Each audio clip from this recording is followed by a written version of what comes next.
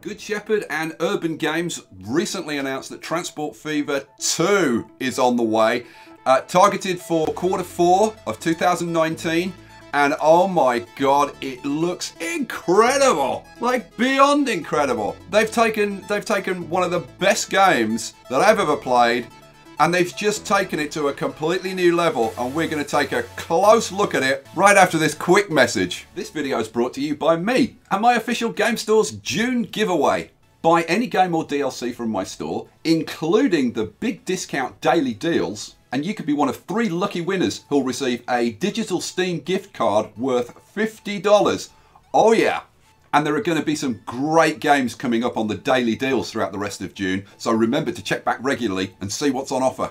Entries close on June 30th, 2019. Terms and conditions apply. Okay, so epic game requires some epic music. Have a look at this while I run through some of the features that are in this game. Look at those birds flying across there. Oh my god. Uh, sandbox mode. Three campaigns across three continents with over 20 hours of playing time the eh, the incredible map editing that they've put in the game, which we'll talk about more when we when we look at it. Uh, over 200 vehicles, trains, buses, streetcars, trucks, aircraft, ships, modular train stations. Look at this. Oh, we'll look more at that. Uh, what else? Uh, editable, paintable terrain. Wonderful. Uh, what else? More than 10 economic chains with associated factories and goods, cities with councillors, residential, commercial, industrial buildings, and we'll take a look at some of those. They look awesome. Uh, detailed game, uh, game world with physics-based lighting, individually simulated land animals, birds and fish. Oh my god. Over 50 challenging achievements in free play mode and extensive modding support via the Steam Workshop. And we know that this game is well supported by the modders.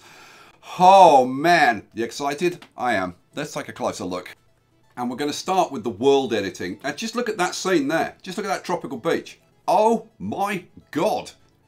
I mean, it is crazy beautiful, this game. I mean, my, my gameplay tends to be a lot about the aesthetics of making things look really, really cool. I mean, in my current EPEC playthrough, uh, some of the things that I've been able to craft, some of the, like the beautiful valleys and stuff like that, uh, they really look good. I mean, there's no getting away from it. This stuff in Transport Fever 1 looks good. You can create really nice train stations, you can create, you know, fantastic airports and great scenery, all of that kind of stuff. But I think Transport Fever 2 is going to make this look really, really average. Look, just look at some of the scenery in, in Transport Fever 2. Ever wanted to build the Grand Canyon? My god, now you can. Just look at that, it's gorgeous. And uh, beautiful beaches. And th remember, this is in-game footage. This is not some pre-rendered, tarted up cutscene. This is what you're actually going to get in the game. And the terrain tools that they're putting in the new game are just, seriously, I, I can't think of another word than epic. Maybe awesome, maybe cool beans.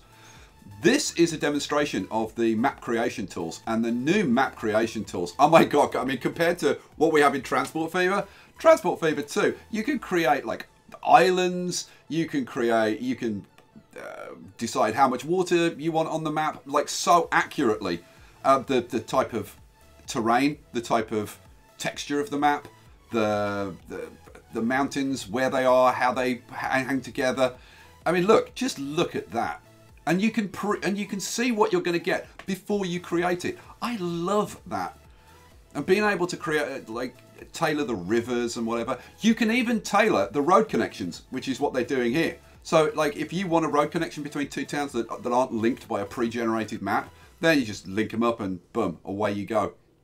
And then once you get in, oh, no more being stuck with narrow rivers. You wanna you wanna make a river wider, you want to change the course of a river, uh, you can just do it. And the terrain tools look just beautiful to use. Now bear in mind, this isn't even a finished version of the game. And the, the UI that you see in this footage is, um, is just a, a development version of the UI. Hopefully it's going to be much nicer. Paint tools, terrain paint tools. Now before we've had to rely on mods for uh, terrain painting tools. But these, oh yeah, oh yeah, I am going to have a field day with this stuff. And it seems the developers have really been listening to the community and, and seeing how the community play the game, right? Okay, some people play it as, a, as just a transport tycoon game, but so many of us play it as an aesthetic game, as a sandbox. And what they've done is made all these really useful utilities to allow you to do things, undo things really easily, and then redo it. I, I, I cannot wait to get my hands on this. You can even add and remove cities from the map, both in the pre-generation and once you get into into the game. It, this is just going. I'm probably going to have an aneurysm when I get my hands on it. Just like ah, there's so many things I want to do, all the beautiful things that I want to create. It's um, yeah, it's a hell of a prospect. Just look at this. It's like oh, I don't want this city anymore. One click, boom, it's gone.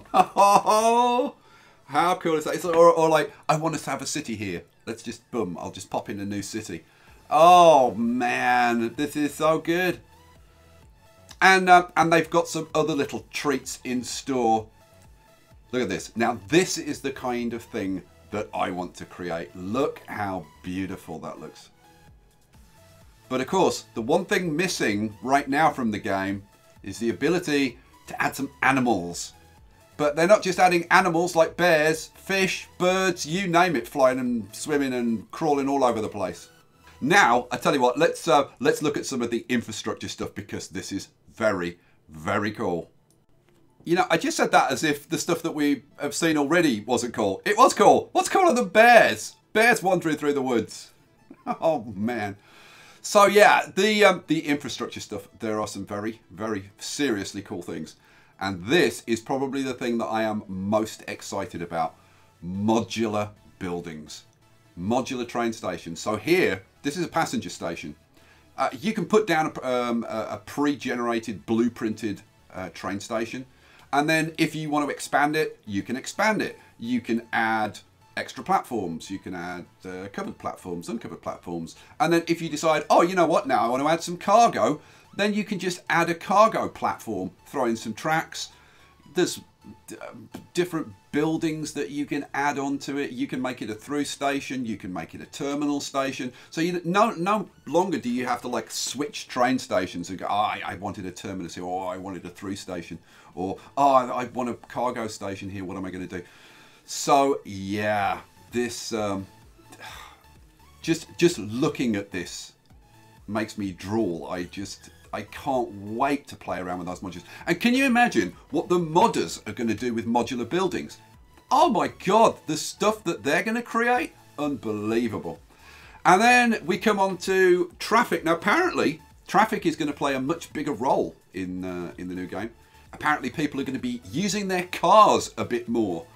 So uh, to handle the traffic, they're putting in traffic lights. Oh hell yeah. And these are pretty clever traffic lights because you can set them up um, to work with bus lanes, for example, so that your buses will get priority at traffic lights. I really think with these new features they're putting in the, in the game, that they're really going to give City Skylines a run for their money as, uh, as top city builder. And look at this, roundabout. Oh my god. Oh, how long have we wanted like proper working roundabouts? And of course, roundabouts use one-way one-way streets, and one-way streets are in the game. Oh, and of course, as soon as you've got one-way streets, then some very, very, very cool things become possible. And you've got to take a look at this because this is a working version of something that I built in my EPEX series which I and now look, um, I I think there's a little bit of similarity there. I don't know whether they got the inspiration. I know they do watch my bits, so maybe they got the inspiration from that. But that is just beautiful. All right, guys. Well, there you go. That is a, a first quick look at Transport Fever 2. If they um, if they do any more uh, dev dev videos, dev blogs, then uh, then I will you know I will cover them. And man, like stay tuned. Transport Fever quarter four this year. It can't come soon enough. Guys, thanks for watching. Hope you enjoyed it. Leave me a comment. Tell me what you think, and I'll catch you for the next one. Peace out.